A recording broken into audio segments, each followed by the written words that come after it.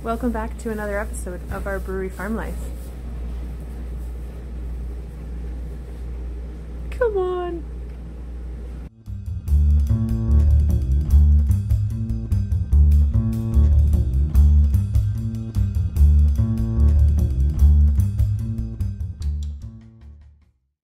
My calculation said that we should be lambing in April, but apparently, and I'm very new to this, so I'm learning, um, apparently we're gonna start lambing now. We came out Sunday to discover some little lammies on the ground. Well, okay, here we go. It was a scary moment for me because I wasn't ready. But we got through it. I did have a little extra help. I have a very good support system. So thank goodness where's Sandy, she showed up and uh, she gave me a huge hand with uh, a different bottle from what I was using because I could not get them on the bottle. They got the colostrum that they needed into them. Uh, I fed through the night and they were fine. And now they figured out mom and everything is great. So uh, yeah, first lamb's born, twin boys, and uh, it's been a blast. So I guess now we start. Fun times. I promise next year I'll be a little bit more prepared. so here we go. It's official. First lambs born Well, well, at. River Road.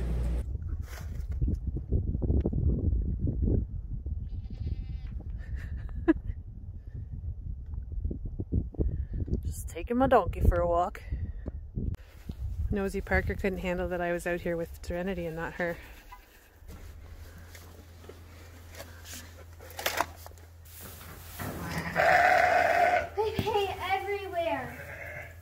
That's straw. Okay, catch a bunny. Okay, okay. I don't want you. You're not helping. You're okay. Hey, it's okay. Got it.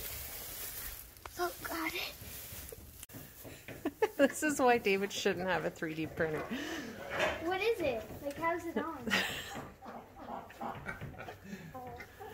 They're Tyrannosaurus Rex arms on a chicken.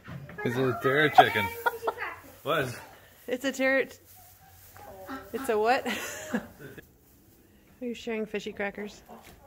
Mm-hmm. Original one. I'm just gonna sneak in and see how the canning is going.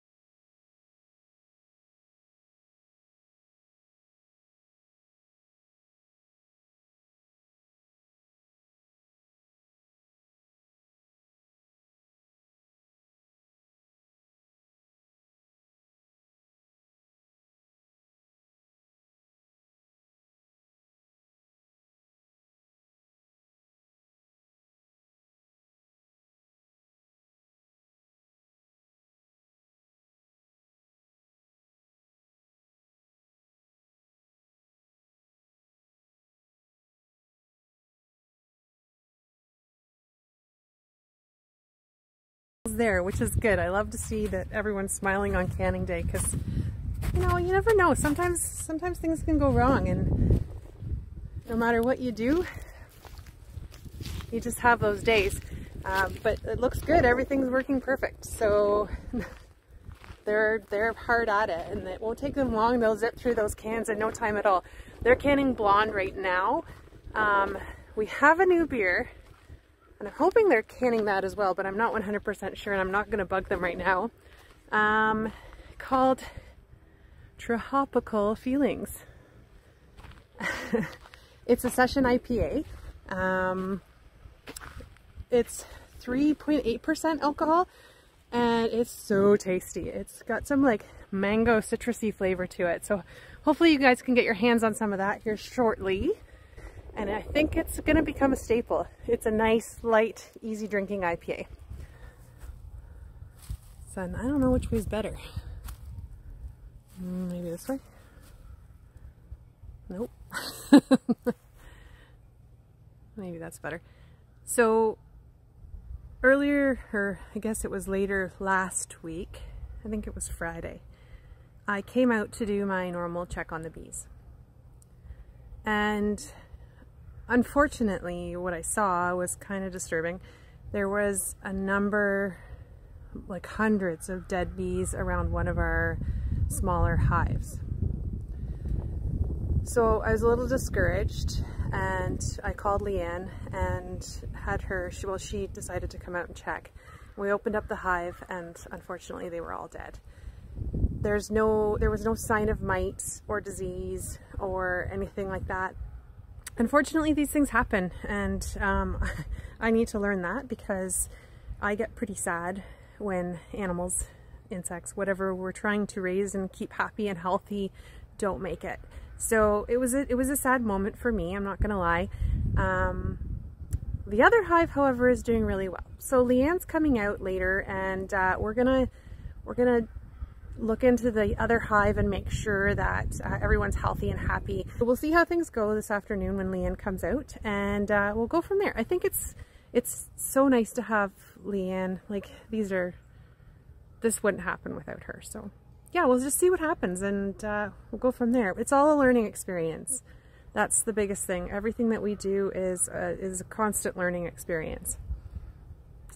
All right. Okay, so explain to me what we just did. Okay, so we just did a really quick check because the weather's in our favor today. So it is March the 8th, I believe, and it's probably about 12 degrees. So it's perfect temperature to take a little peek. So we took the lid off, we gently took off the inner cover, and we looked for moisture. So there was no sign of any moisture, so we know that there's no mold.